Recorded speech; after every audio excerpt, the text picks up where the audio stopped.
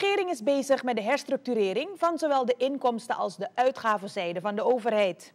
De inkomsten zijn namelijk drastisch afgenomen en de overheid gaat strak op de centen letten. Dit zei financiën-minister Gilmore Hoefdraad vrijdag in DNA bij de afronding van de behandeling van de suppletoire begroting.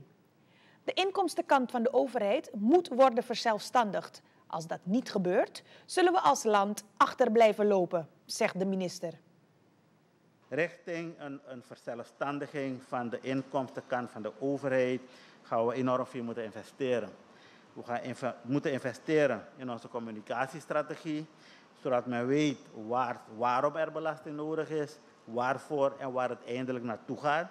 Wat dat betreft uh, hopen wij binnenkort uh, wat uh, vooruitgang op dat gebied te boeken. We zijn bezig met een team van professionals die in feite de communicatie van de inkomstenkant gaat verbeteren.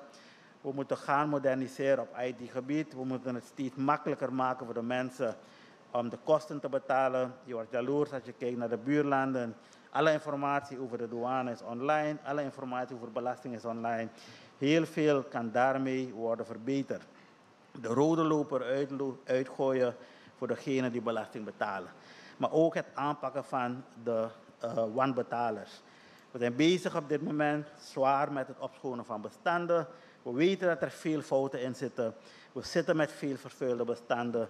Maar we kijken ook tegen enorme, enorme problemen in het systeem. Verder moeten we blijven werken aan investeringen en processen bij de douane.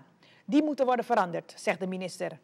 Ook het bestedingspatroon van de overheid moet goed onder de loep genomen worden, geeft Hoefdraad aan. Uh, gisteren in feite had ik gereed voor u uh, het rapport waarom u vraagt van Carifesta. Het is hier, ik wil het officieel aanbieden. Maar daarnaast heb ik ook een rapport opgesteld. Het gaat om het ministerie van Sociale Zaken. Uh, opzetten van een omvangtehuis, slachtoffers, mensenhandel.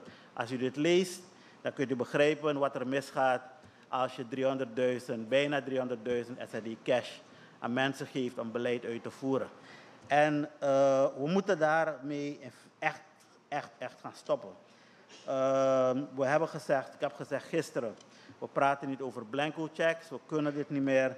Want los van het feit dat er geld er niet is, de ruimte geven om zoveel geld in handen te zetten van individuen of op ministeries, maakt in feite dat men de deals aangaat uh, met bedrijfsleven, dat we 200, 300 procent uh, betalen voor producten. En uh, ik heb het u al gezegd, de achterstanden die we daarmee hebben moeten opbouwen en die ons veel kost om die weer in te lopen. Al dus minister Gilmore Hoefdraad van Financiën afgelopen vrijdag in DNA. De Centrale Bank van Suriname heeft middels een persbericht aangegeven dat elk bericht, als zou het bankgeheim geschonden zijn of zou zijn geschonden, niet waar is.